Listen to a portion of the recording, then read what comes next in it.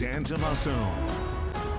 Well, speaking of, a bit of a milder day today. It's been mild pretty much since the beginning of 2023. I mean, we've had some cold spells here and there, and yesterday was slightly on the cooler side. Wouldn't you agree? Yeah, especially compared to the day before. Correct. We were in the upper 70s in some spots. Today, kind of the in between day. It's not going to be as cold as the mid 50s all day long, but it's not going to be as warm as the mid 70s either. Here's Boiling Springs, and still a fair amount of cloud cover just kind of sitting over top. And really, when we're talking about this area in the Cumberland Valley, still some lingering clouds, even a couple of showers there over parts of southern Franklin County. So, right there, kind of the remnants of this line of showers to pass on by. Otherwise, a lot of this rain did fade as it moved through, but it was just enough moisture, just enough cloud cover to kind of keep things stable outside. Temperatures didn't increase in a hurry. Where there wasn't as much rain and clouds, look at this.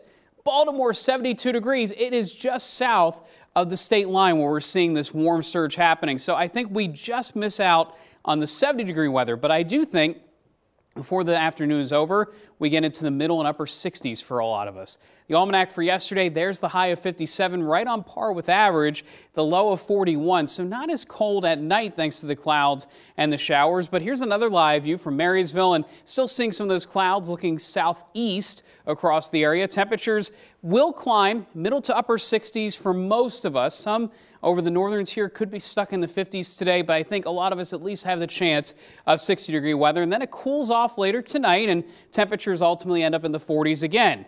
Get used to that though, because not only at night will be cooler, we're also seeing cooler weather during the day upcoming, and it's because of this cool air mass behind this next front. So while we're not seeing much rain with these fronts, they are making a difference temperature wise. So here's the rest of today. Any leftover shower activity continues to sink south and east. We clear out through later tonight, but then clouds do make a return quickly for tomorrow morning. Maybe a lingering shower or two, but again, any leftover moisture will just kind of keep things cooler. We're not talking about substantial amounts of rain, but just light rain, damp air to start out Friday before more clearing. And by the weekend, we're back to all sunshine. Saturday and Sunday feature all sun. Not much going on in the forecast other than cool air settling in and seeing a prolonged period here where temperatures are going to be closer to average or slightly below. Looking at a lot of low 50s for highs, temperatures at night in the 30s. Pretty chilly morning there, Sunday morning and again Monday morning. But I added a little trend arrow there at the end of the seven day forecast, James, Mm-hmm. because some middle to upper 60s are possible the end of Wednesday into Thursday, this warm air starts to stream back in. So I think the second half of next week is going to end up being milder than the 50s. Oh, right back up again. Yep, right back up again. I just thought I'd throw that out there. Okay, I noticed. Since I don't come on the show tomorrow, I just thought I'd make sure everybody knows. All right, I appreciate it, Dan. Yep. Thank you. Up next, if you haven't